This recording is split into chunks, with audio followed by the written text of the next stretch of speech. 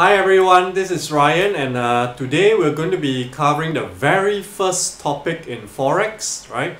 So the title of this uh, today's lesson is What is Forex? Alright, so let's move on to the slides. Okay, so what is Forex? Forex is basically short form for the foreign exchange market. It is known as Forex or FX or some people call it currencies. It is the simultaneous buying of one currency and selling of another via a broker or dealer. It is operated through a net electronic network of banks, corporations, and individuals trading one currency for another, and it is the largest financial market in the world. The volume traded is about $5 trillion a day. Right? So when we trade currencies, we always buy one currency and then we sell another currency, all right, simultaneously. You buy one currency and then you sell another currency. So let me just give you a very simple example. Let's say you make a lot of money, right, and then you want to go for a holiday. So before you go for a holiday, what's the very first thing you need to do? You need to go to the money changer.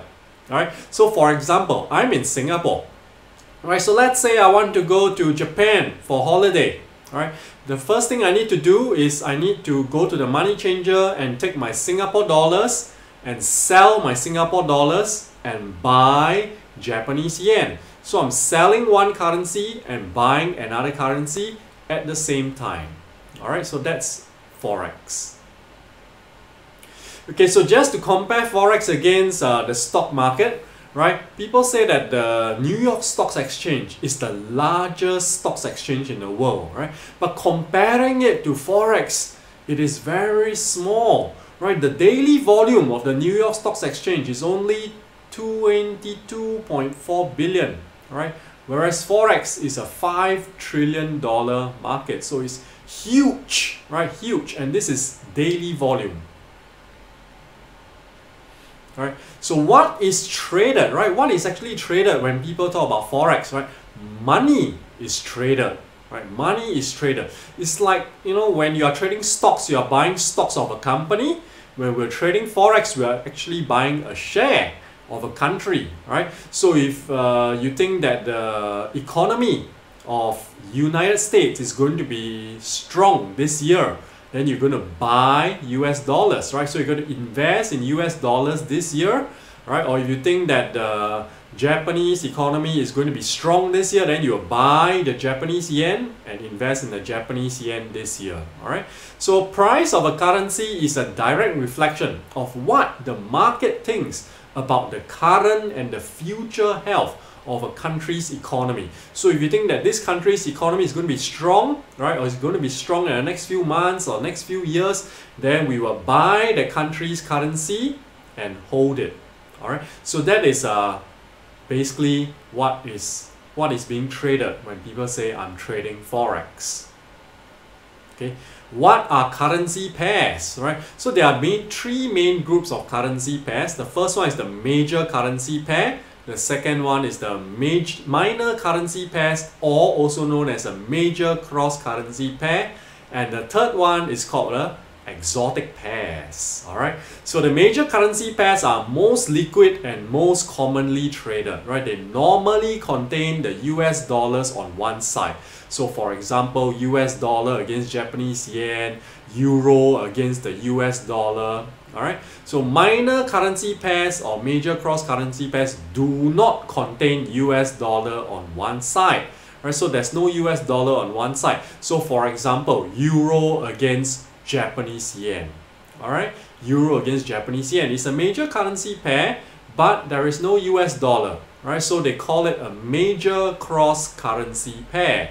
And finally, we have the exotic pairs. Right? So exotic pairs, the one currency is a US dollar and then another currency can be small from a smaller country, you know, like the Polish zloty, the South African rand or Singapore dollar, right? It's not heavily traded, hence the transaction costs are usually bigger. So when we talk about transaction costs here, we're talking about the spread, right? So we'll cover about the spread later in a later lesson.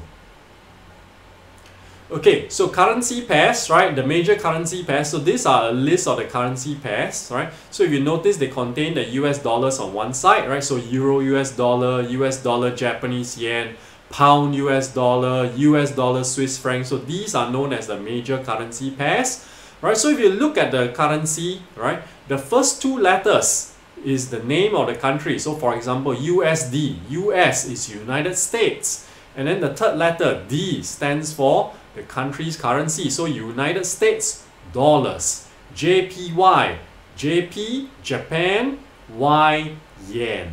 Alright. Next, we move on to the major cross-currency pairs. So we have the euro crosses, so that means they contain euro on one side. And then we have the yen crosses, so there's the yen on one side, so we have the euro yen, the pound yen, Aussie yen, right? Aussie dollar against the Japanese yen. And then we have the pound crosses, which is uh, the pound on one side, right? So we have the pound Swiss franc, pound Aussie dollars, right? So these are the major cross-currency pairs. Next, we have the exotic pairs. So not many people trade exotic pairs, right? Especially retail traders. So the spread is quite big. There's lesser liquidity.